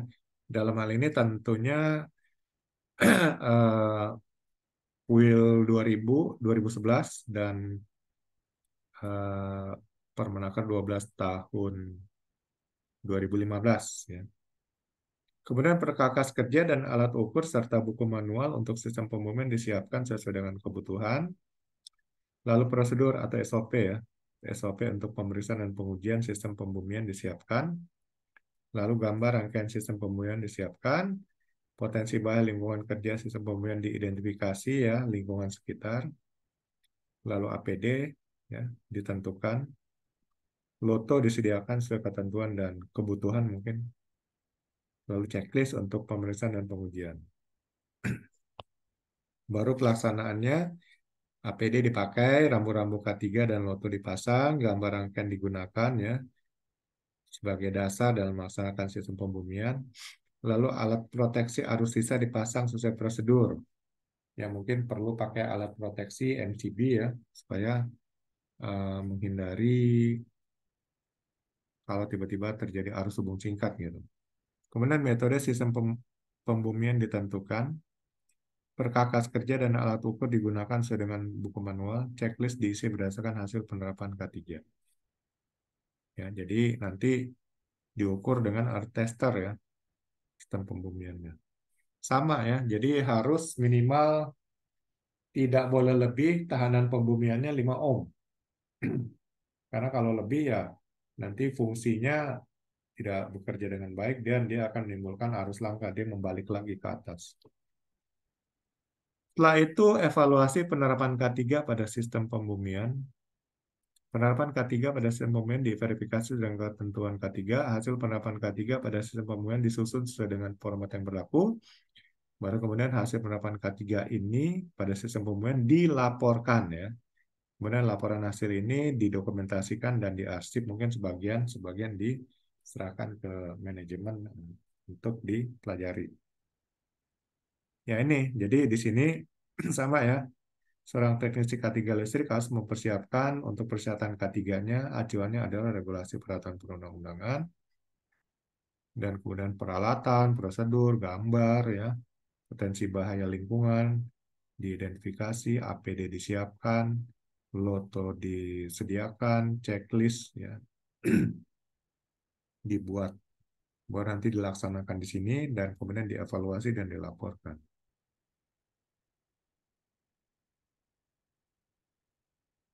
Oke, sampai sini untuk unit kompetensi ke-9 mengenai menerapkan persyaratan K3 pada sistem pembumian. Ada yang ingin tanyakan atau didiskusikan?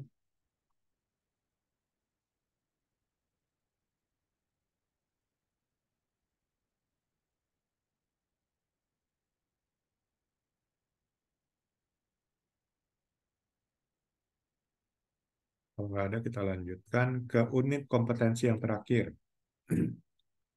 menerapkan persyaratan K3 pada ruang khusus.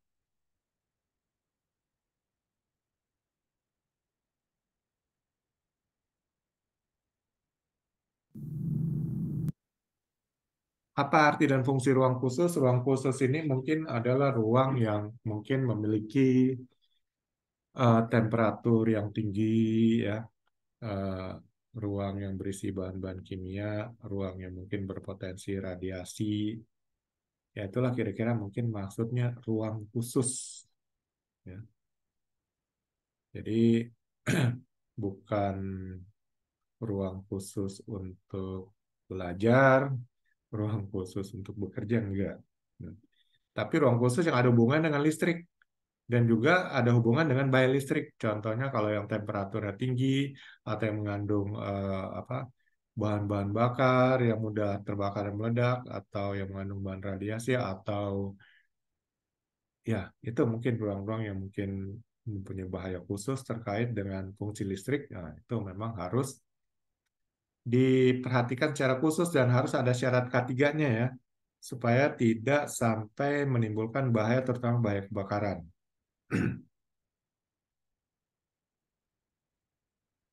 yaitu uh, ruang khusus.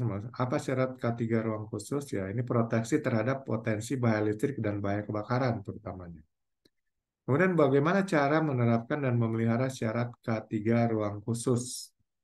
Ya, identifikasi potensi ruang khususnya ya, bahaya listriknya dan bahaya potensi kebakarannya. Dan kemudian lakukan pengendalian.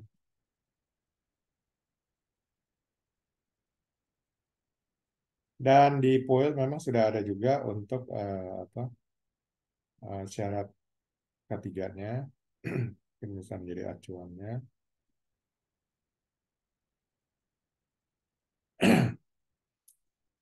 Ini mungkin materinya sudah dibagikan ya. Kita ketahui bahwa di tempat kerja terdapat berbagai macam jenis ruang kerja sesuai jenis usaha.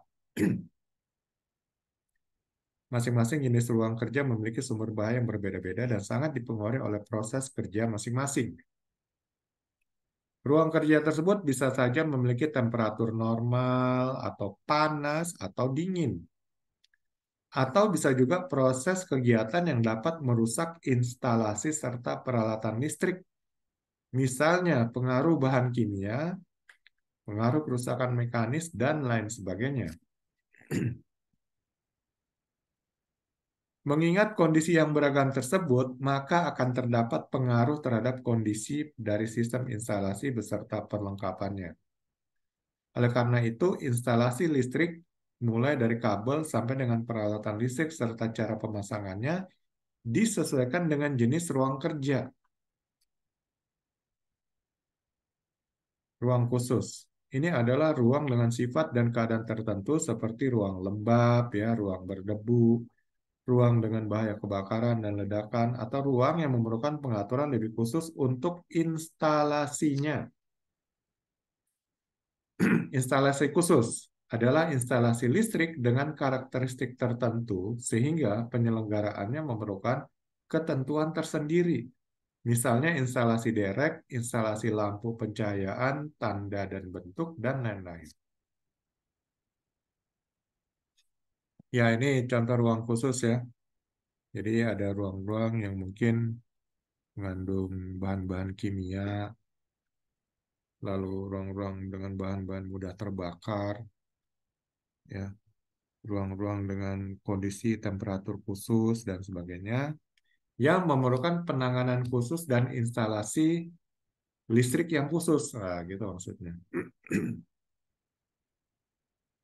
Area berbahaya adalah daerah di mana api atau ledakan mungkin terjadi karena adanya gas atau uap, cairan, debu, dan fiber yang dapat terbakar atau meledak pada frekuensi tertentu dan membutuhkan cara pencegahan khusus untuk desain bangunan dan konstruksi alat-alatnya, serta pengawasan untuk sumber-sumber lain yang berpotensi menimbulkan kebakaran pada bangunan tersebut. Definisi, lingkungan di mana atmosfer mengandung gas, uap, kabut, atau debu yang mudah menyala atau meledak dalam jumlah yang cukup, api atau ledakan terjadi bila tiga kondisi dipenuhi yang dikenal dengan combustion triangle ya. Tadi saya bilang ada panas, bahan bakar, dan juga oksigen. Ya, ini segitiga api ya. Ya, ada oksigen, panas, dan bahan bakar. Sumber-sumber penyulutan electric arcs dan spark, flames, hard surfaces, electrostatic spark, mechanical friction ya, gesekan mekanis, mechanical spark produced by grinding, ya. gerinda dapat menimbulkan percikan api. Nih. Compression ignition, electromagnetic radiation, chemical reaction, dan ultrasonic. Ini sumber-sumber yang dapat menyebabkan terjadinya penyulutan dan titik api. Ruang kerja listrik harus diawasi oleh pengawas ahli, kecuali ruang kerja listrik yang terkunci dan yang tidak ada orang di dalamnya. Dan harus berukuran cukup besar sehingga instalasi listrik yang akan dipasang di dalamnya dapat diatur cukup leluasa dan mudah diperiksa. Dan harus mempunyai pencahayaan yang baik dan tepat ya. Lantai, dinding, plafon, dan bagian konstruksi lain dari ruang kerja listrik di dalamnya terdapat instalasi voltase menengah dan atau voltase tinggi, baik arus bolak-balik maupun arus arah, harus dibuat dari bahan yang tidak mudah terbakar atau bila hal yang demikian tidak dapat dipenuhi, maka sisi dalamnya harus dilapisi dengan bahan yang tidak mudah terbakar. Jadi sekarang ada cat-cat atau pelapisan yang tahan api. Nah, itu mungkin yang fire resistant ya atau fireproof sehingga itu cocok untuk ruang khusus yang mengandung potensi bahaya kebakaran tinggi ya. Kemudian ruang kerja listrik yang berada di udara terbuka harus dikelilingi seluruhnya dengan pagar yang baik dan tepat dengan tinggi maksimum 2 meter di atas tanah atau dapat juga ditempuh cara lain asalkan cukup terjamin bahwa orang yang tidak berwenang tidak dapat masuk. Ya, itulah perlakuan untuk orang khusus ya. Karena ada potensi bahaya sehingga benar-benar harus diproteksi dan di apa dioperasionalkan secara khusus dengan persyaratan-persyaratan yang khusus. Nah, unit kompetensinya ini sama persiapan, penerapan, evaluasi.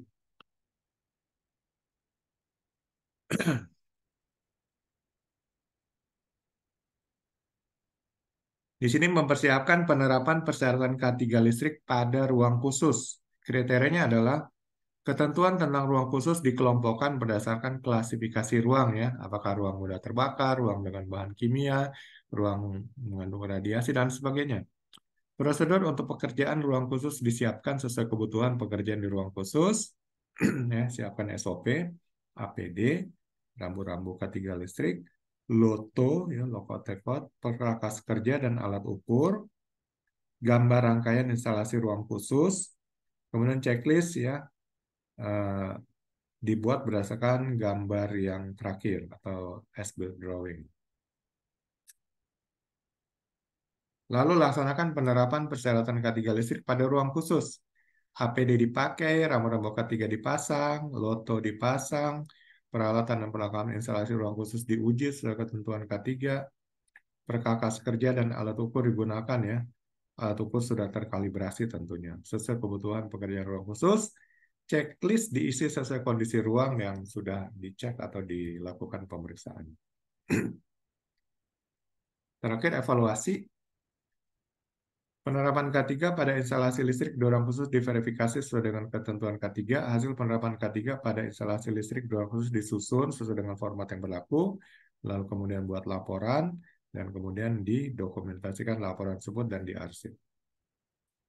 Sama semuanya ini ya, jadi ruang khusus mengandung bahaya-bahaya tertentu, bahaya-bahaya tinggi, terutama bahaya kebakaran, ini benar-benar harus uh, didesain secara khusus, dilapis dengan uh, bahan fireproof ya, anti kebakaran dan sebagainya.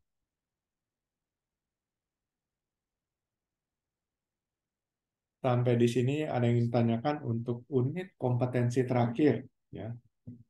Menerapkan persyaratan K3 pada ruang khusus.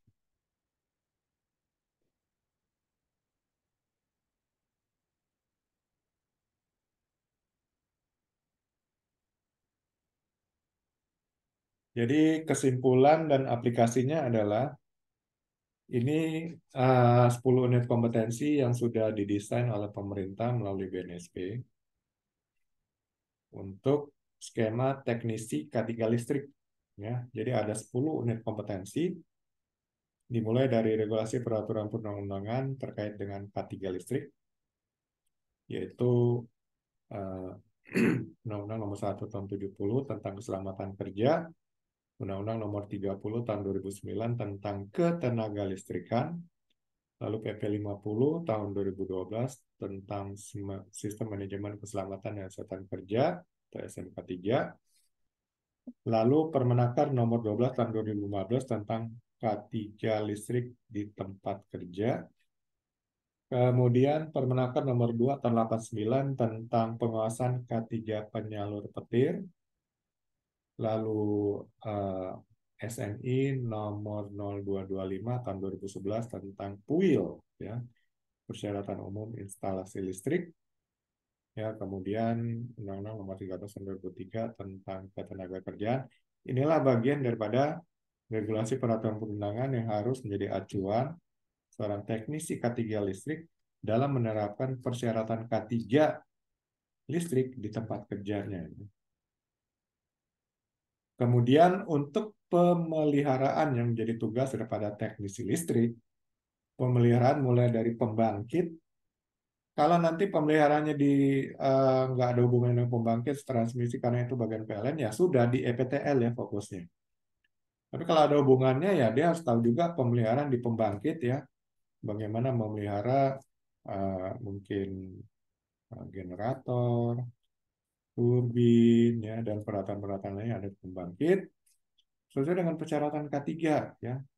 Di mana untuk penggantian satu uh, partnya mungkin dia harus melakukan loto ya menyiapkan JSA menyiapkan APD S-build drawing dan kemudian checklist dan sebagainya. Lalu berdasarkan hal itu SOP juga. Nah, dia melakukan penggantian untuk part atau uh, bagian yang sudah rusak ya, supaya peralatan atau sesuatu yang ada di ruang pembangkit itu benar-benar berfungsi seperti biasa. Lalu di jaringan transmisi sama ya, uh, juga di bagian distribusi bagaimana pemeliharaannya. Kalau ingin mengganti satu part harus dilakukan loto, bekerja berdasarkan SOP, bekerja dengan acuan dari gambar S-build drawing-nya, gambar terakhirnya, dan kemudian bikin checklist apa-apa yang harus diperiksa, dan kemudian nanti saat penggantian uh, partnya harus berdasarkan SOP ya, atau JSA, ya itu semua ya, sama. Lalu di PTL sama juga ya, sesuai dengan peralatan-peralatan yang mungkin ada peralatan di rumah tangga, peralatan di kantor, peralatan di pabrik, dan sebagainya.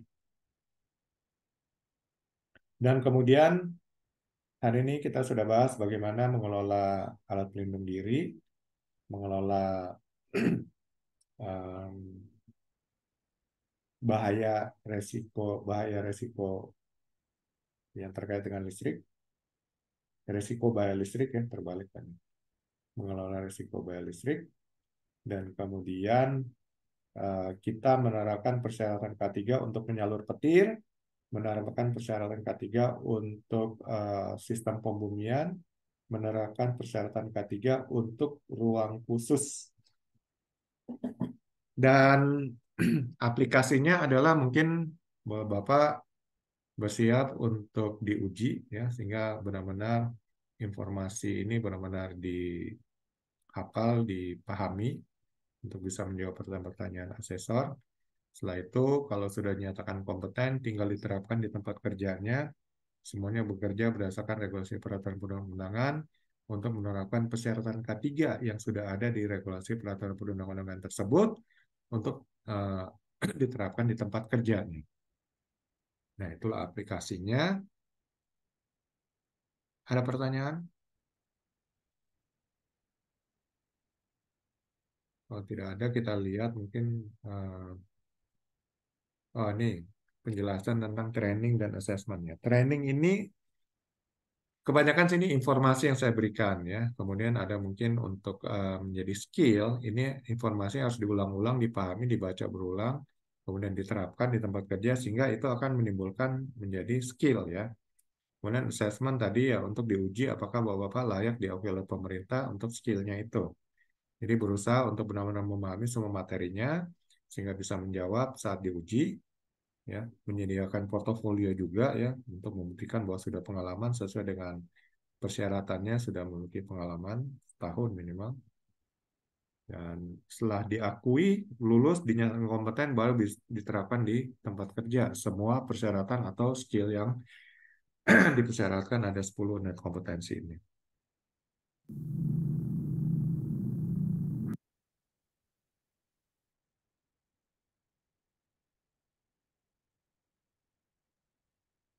Ya, nanti untuk uji kompetensi tinggal menunggu jadwal dari LSP-nya ya. Nanti akan diinformasikan di di apa? di WA group. Kemudian nanti mungkin ada penjelasan mengenai pre-assessment. Nanti kita lihat uh, mungkin akan diatur waktunya. Biasanya H-1 sebelum jadwal ujinya akan dilakukan penjelasan mengenai pre-assessment atau persyaratan atau aturan dalam mengikuti uji kompetensi.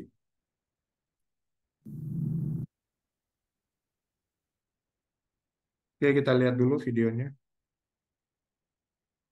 Ada beberapa video.